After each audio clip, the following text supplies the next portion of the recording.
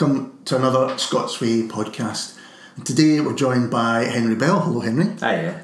Um, writer, editor, and uh, producer, and we'll talk to you about all those roles uh, later. But I'm going to start off with writer because you've written this book, John Maclean, Hero of Red Clydeside, and immediately appealed to me because I'd heard of John Maclean and that he um, had caused tanks to appear in George Square back in the day, but I didn't know much else. And what your book does brilliantly is to fill in the gaps in my knowledge. Can you give us a bit of background to John Maclean? Yeah, so a hundred years ago, uh, I wouldn't have needed to. John Maclean was kind of perhaps the, one of the most famous Scots in the country. He was certainly the most famous communist and revolutionary, and he was discussed week in, week out in the War Cabinet by Lloyd George, um, the head of military intelligence, called him the most dangerous man in Britain. Yeah. And, uh, and yeah, and he was a, a, socialist and an organizer and an educator from Glasgow. But uh, as you might have noticed, the revolution didn't happen, and so his his legacy has been not quite what he expected it to be. But I think he's still a kind of important figure. A hugely important figure, and it seemed to me that he almost set a, a template for um, sometimes for better and worse, but a kind of Glasgow or West of Scotland firebrand speaker, or maybe not even West of Scotland, maybe Scottish is would be the best way of putting that. That kind of followed him because he drew huge crowds. Um, was was massively popular, as you say. Everyone kind of knew who he was, and we'll talk a little bit about his funeral, which kicks the book off. Um, would you say that's fair that this that this is someone who influenced uh, politically a lot of the people who came after him? Yeah, I mean, I think there's a type that he that he represented, sort of the archetype of, and it, it's kind of connected to to this idea of almost like a, a left wing minister, isn't it? Yeah. Something kind of moving from the Kirk to the Labour Party, uh, and yeah, certainly him him in his street corner meetings with at times you know tens of thousands of people listening to him uh, speak against imperialism and against the war. I definitely, I mean, I think there's no question that people like Jimmy Reid and you know Tommy Sheridan, for Yeah. better or worse, modelled themselves in some ways on that on that idea. And, you know, Yeah. George Galloway's broad brim black hat has Maclean has to answer for that as well, maybe. It's it's interesting. I, could- I could talk to you for a long time about George Galloway, that's for sure. But um, yeah, that's these are exactly the kind of people I was thinking. I mean, you know, a lot of uh, trade unionists that were big in, in the seventies and eighties who had that kind of background as well. And even I suppose someone like Alex Ferguson, you know, who could hold a room and had this kind of yeah, I suppose personality, but a real um, use of language that just seemed to inspire. And there was certainly John Maclean seemed to inspire. Yeah, I think the big feature of Maclean's is this real respect for language and rhetoric and culture. And uh, you know, sometimes communism can get painted as being a little uh, philistine, a little kind of anti those things. But I think it was it was crucial to him, and uh, you know, he loved reading and poetry and. Uh, and kind of turn of phrase was, was him, and I think that's another reason that his, his legacy lives on. You know, the, his famous speech from the dock in 1918 is just fantastically well written. It is a beautiful piece of writing. I think um, it's a, he's a character that in so many ways typified um, modern or recent modern Scotland because you say um, educated as well, in fact, a teacher. And um, you, you're talking about the religious aspect. It does seem where kind of Calvinism and communism kind of clash in this thing. And uh, his, his political power, for want of a better word, maybe power's the wrong word, but his political influence really did reach far and wide, you know, not just in the UK, but um, the Kremlin were familiar with him as well and um, kind of held him up as a, a, a kind of prototype for what could happen in Britain. Yeah, no, I mean, if, if circumstances had been different, I think uh, Maclean would, would maybe be remembered as a, as a Marxist educator and as a sort of uh, forefigure of, of Scottish socialism, but because of the First World War happening when it did, and because of kind of chance meetings he had with the Irish and Russian left Yeah. in the years before that in, in Glasgow, um, he became kind of representative, yeah, of, of this international left that resisted the war, and that included, you know, Rosa Luxemburg and Karl Liebknecht and Vladimir Lenin and Leon Trotsky, and and uh, you know when the Russian Revolution finally happened and they had the third uh, Congress of Russian Soviets, uh, Maclean was elected by the workers as honorary president of the Russian Soviet, which you know was a huge honor and kind of shows the magnitude of what was expected from him. I think really that that you know among among Bolsheviks there was a real feeling that Maclean might break the British Empire on the Clyde. Yeah, yeah.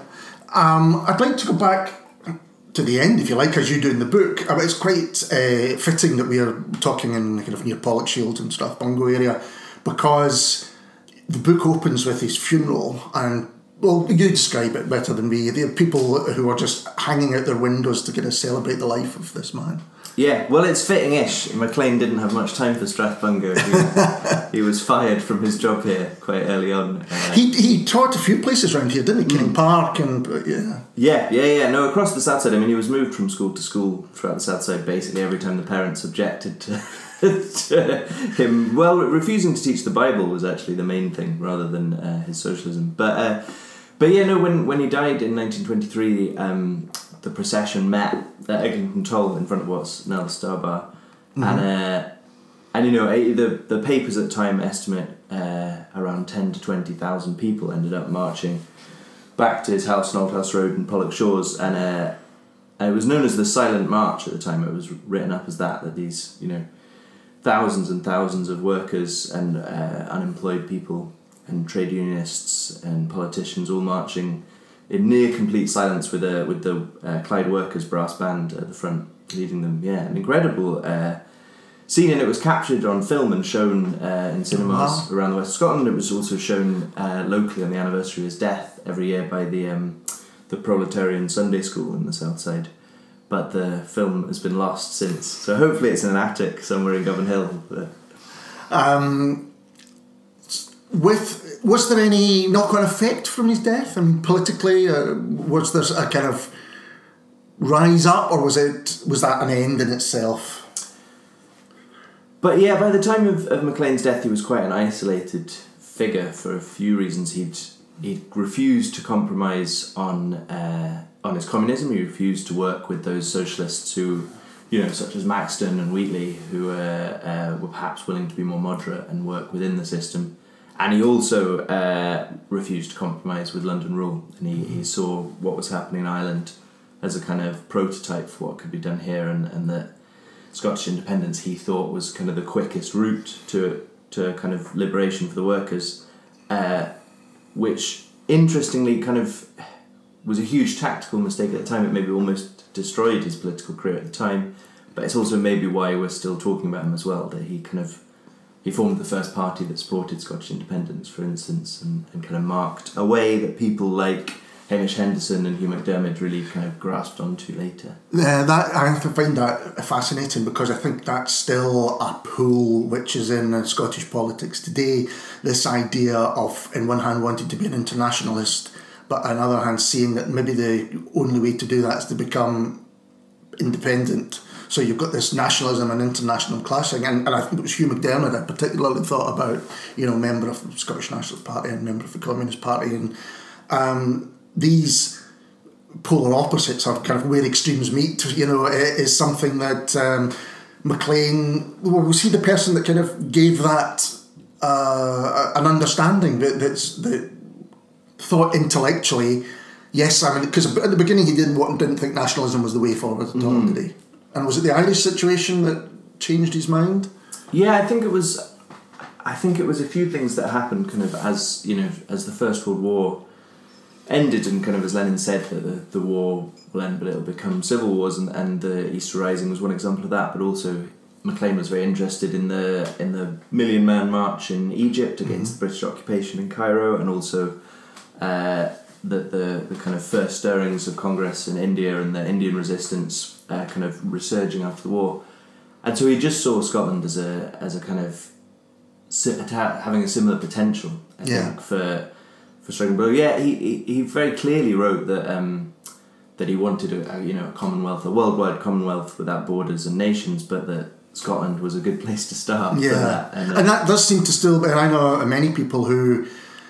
Um, I mean, when I first started getting interested in politics in the late, even mid to late eighties, um, the idea that uh, the Scottish Nationalist Party would be a party of power, never mind in power, was kind of almost laughed at.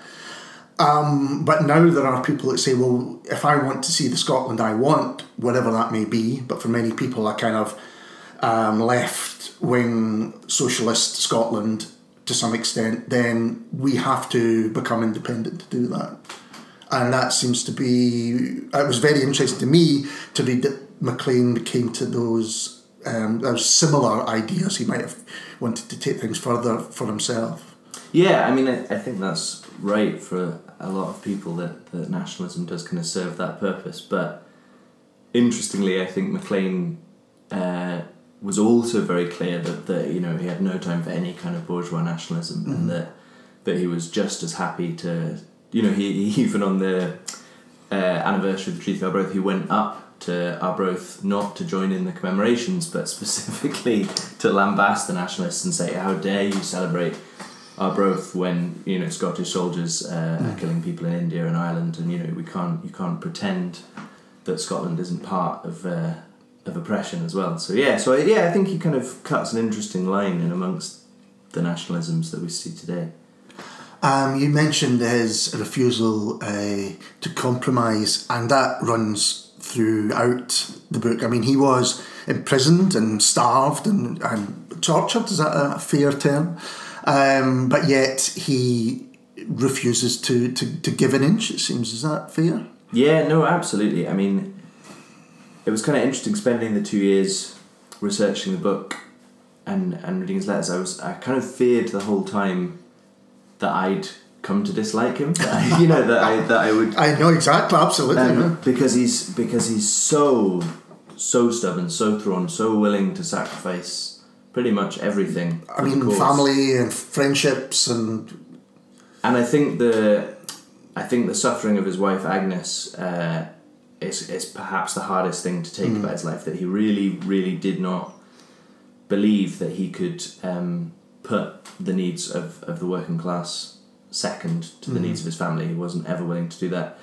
And if it, you know, it's a spoiler, but if it, if it wasn't for the fact that there's a reunion between them in the end, and that and that some kind of amends is made for that, I think it, it, he'd be a, an unsympathetic character, perhaps mm-hmm. in some ways. But as it is, I think you kind of you have to admire the fact that he was so total in his belief in humanity, and you know it's interesting. Also, he had two daughters, um, and uh, one of them um, completely continued his legacy and devoted yeah. herself to, to social politics. A very prominent uh, Trotsky Trotskyist, sorry, but um, and the other completely uh, dismissed politics and moved away from it. And and I, I've kind of gathered from other family members felt really some resentment towards what Maclean had done to their family for the cause, and I think it's, mm. e- it's easy to see yeah. both of those reactions. It is, it? and you, I think you, you, often see that in uh, the relationship with his wife or the way his, his wife.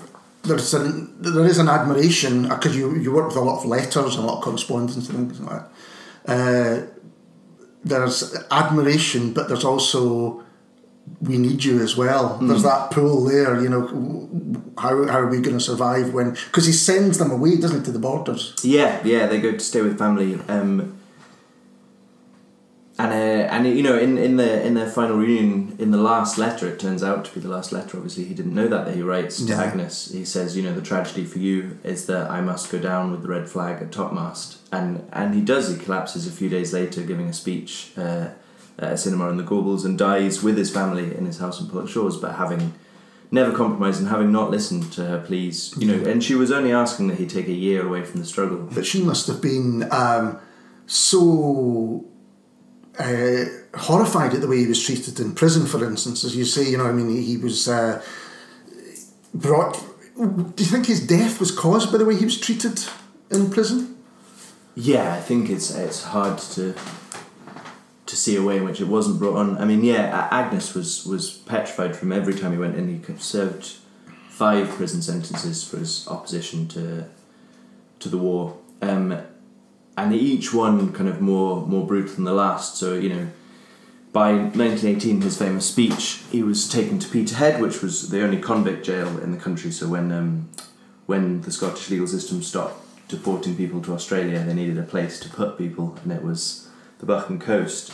So, so you could have gone to Australia and then you get Peterhead yeah, instead. Exactly. yeah, Australia might have been better for his health. It's true, but um, but yeah, and while he was up there, he was on a hunger strike. Um, so he was force fed uh, every day. He was constantly watched by um, wardens, and he was um, kind of really uh, spied on and documented to an incredible extent. You go to the uh, records office in Princes Street, the papers from Peterhead are huge. It documents, you know, every everything that McLean says, everything that he will or won't eat, um, how he's force fed every day, and you know, force feeding at that time was literally just a rubber Mm. pipe down your neck and uh, some sort of mix of margarine and bovril poured down it. Um, and just the year before, Thomas Ashe, the Republican uh, fighter, had been had been killed um, by force feeding in a British jail. So, so I think Agnes would have been very aware of that as well. And there was a lot of popular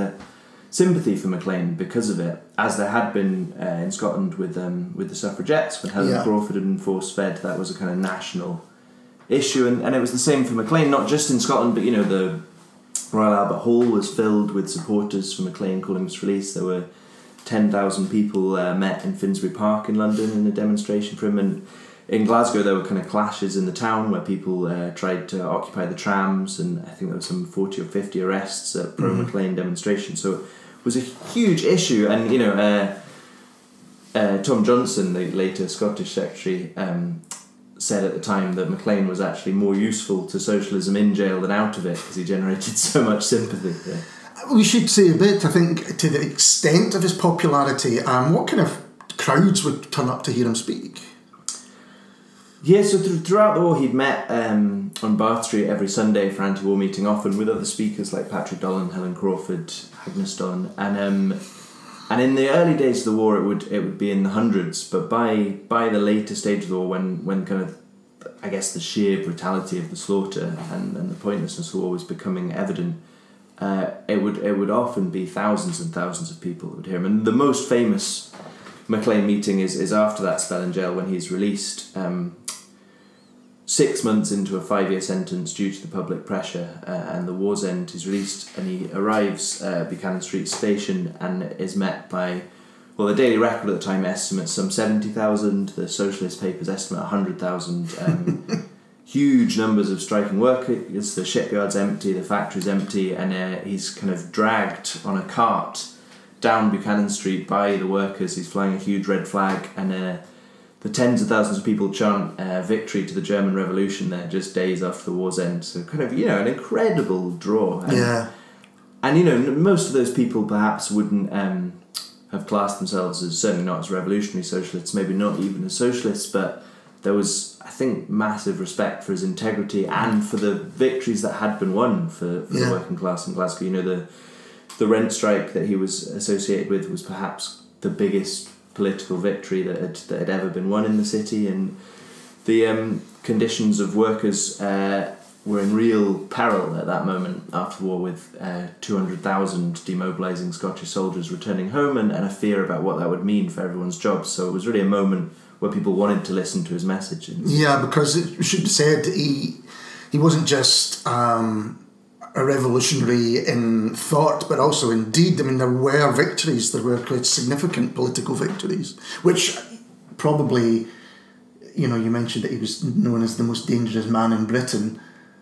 Th that these were real threats to the, the status quo.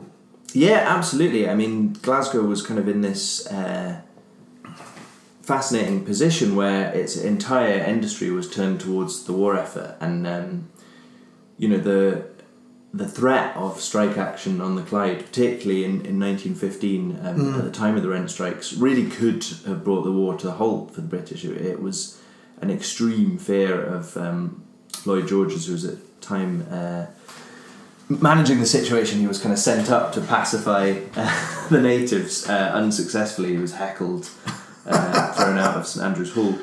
Um, from that moment on, the government uh, made a policy of stockpiling huge amounts of munitions because they didn't feel they could rely on the Clyde to keep producing for the war effort, and that was that was due to people like Willie Gallacher, John Maclean, James Maxton campaigning against the war and for workers' rights in the city. So you said that you were worried after spending two years researching the book that you might not like the man at the end of it. What do you think about the man having written the book? Well, yeah, he's got um, you know such a reputation for a kind of stern dourness. It's, it's funny. All the other uh, great figures of Red to kind of have a, a friend. You know, it's always Jimmy Maxton, Yeah. Davy Kirkwood, and you never really get Johnny Maclean. It's always it's always a bit more formal. And you know, he's there's a a document that uh, a friend of his kept. It's kind of a personality test thing from when he's a teenager, and he records that his favourite drink is water and his favourite food is porridge.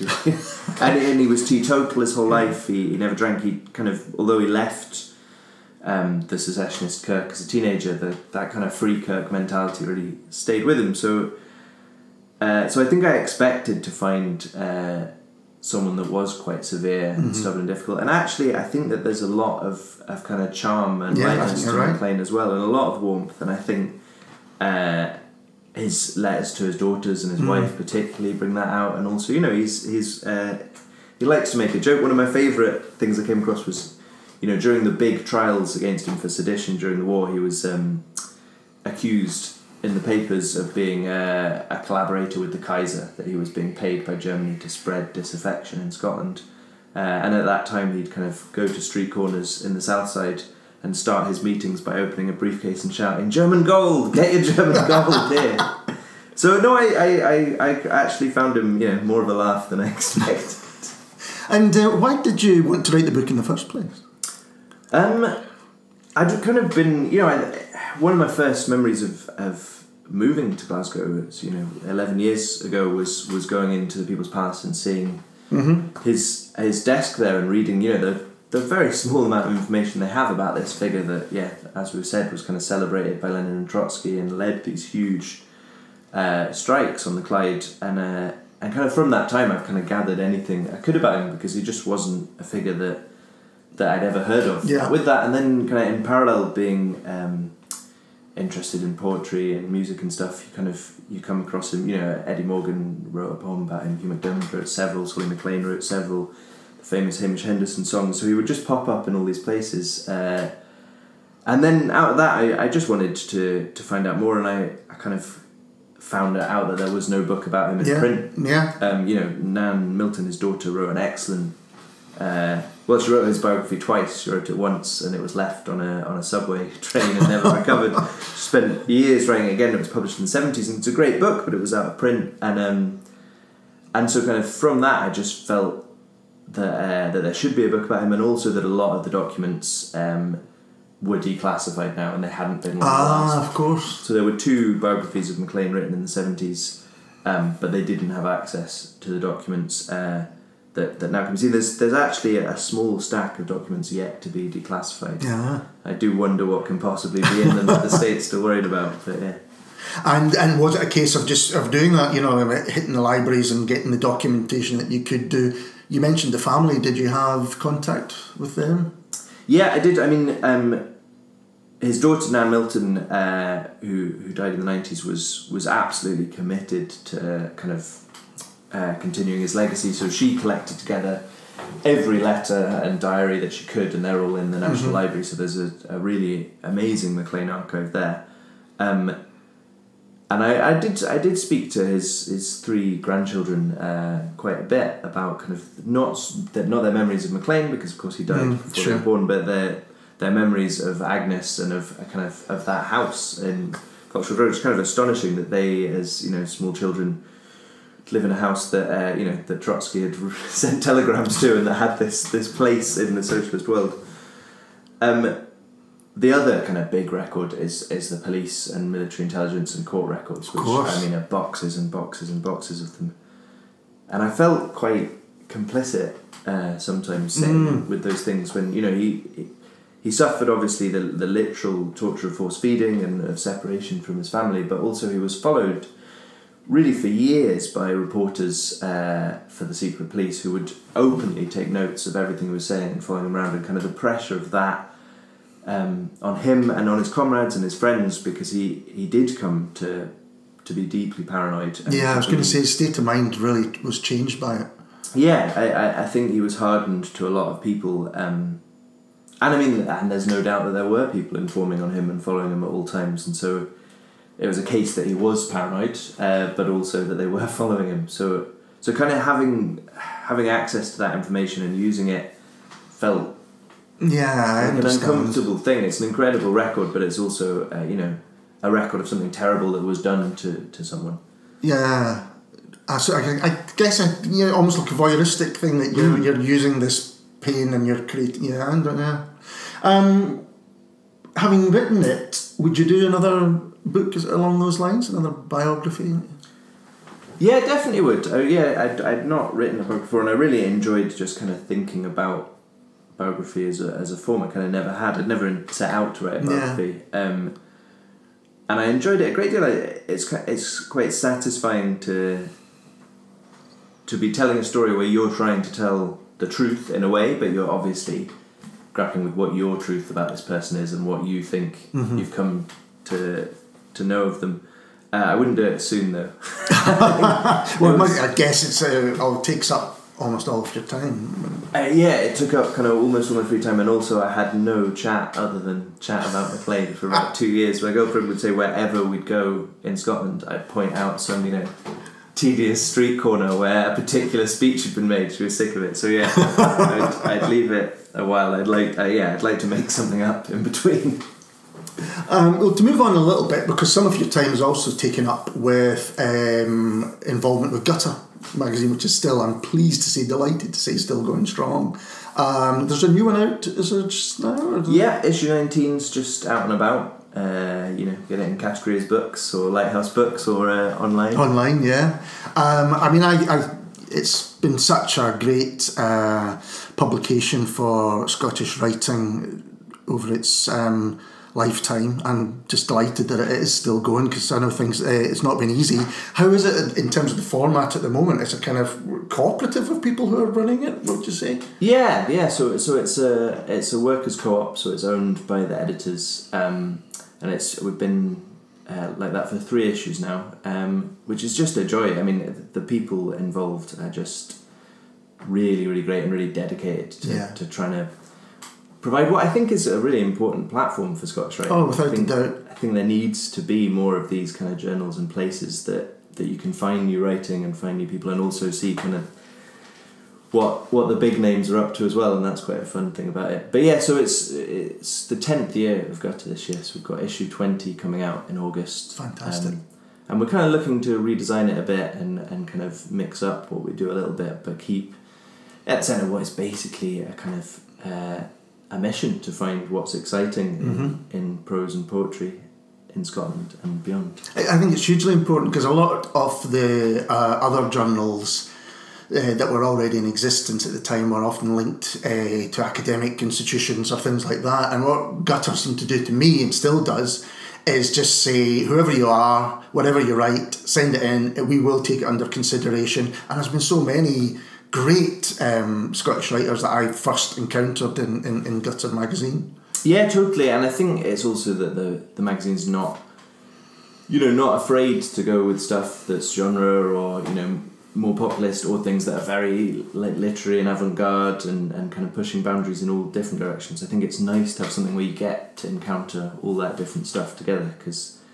Because yeah, more academic journals have their place as well. Of course, yes. But, um, but yeah, I mean, when it started out ten years ago, there were so many more magazines in Scotland Mm, as well, yeah. and so many that have fallen by the wayside. And it kind of got to a point a few years ago where it, really felt like it was it was Gutter, the Dark Horse, and New Writing Scotland Yeah. were the last magazine standing. And it, it's really nice to see that that's changed Yeah. because there's more and more uh, literary magazines and zines popping up, and so hopefully more of a kind of healthy culture of It does seem, I mean, this might be wishful thinking, so tell me if you think I'm wrong about this, but we maybe turned a corner in Scottish publishing and it did for a while look as though it was maybe in its last gasp, but um, that things have, have t- maybe just turned for the better. Do you think that's fair or is that too soon to say? I hope it's true. Yeah, I mean, I think yeah, there's publishers, new publishers doing brilliant things. I think like particularly 404 Ink Mm-hmm. and Speculative Books, who are doing kind of totally different stuff and discovering new talent and having big big hits, Yeah. big books that that shift copies. Um,